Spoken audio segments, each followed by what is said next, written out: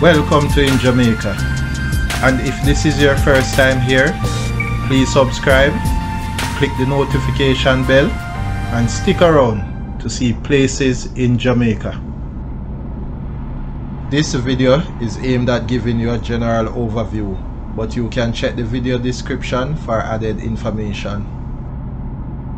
Currently, we are driving north from Moneague towards Bromley on the A1 Moneague to Walkerswood Road.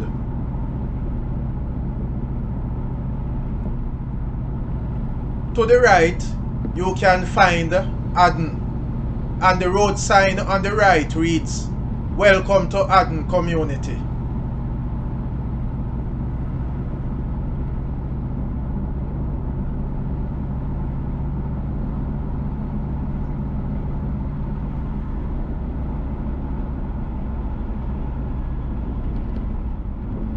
Entering Bromley. Bromley was established as a 900 acre pen in the 1700s to supply the local plantations with meat. It was one of many properties which included sugar estates and pens owned by Sir John Pringle, a British physician who has been called the father of military medicine. Over the following years, Sir John acquired numerous properties and became the largest landowner in Jamaica. Bromley Pen is the last of those estates.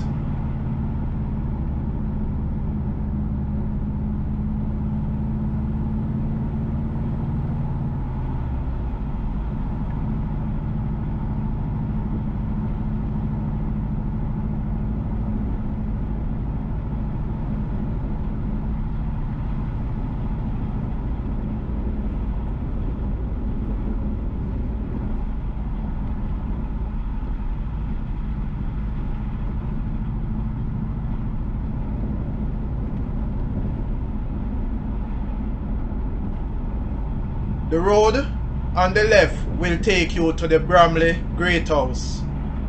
As well as a few meters to the left is Greenfield and Bromley Cave. Entering Walkerswood.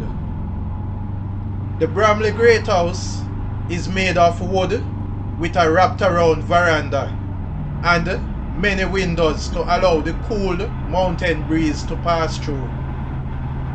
The foundation is made from cut stones dating back to the 18th century. The property is the home of the famous Walkerswood jerk seasonings and condiments. Notably, a great house was associated with sugar plantations, whereas a pen was associated with the raising of livestock.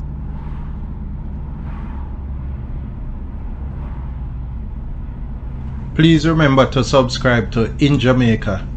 Give us a like and share and thank you all for watching.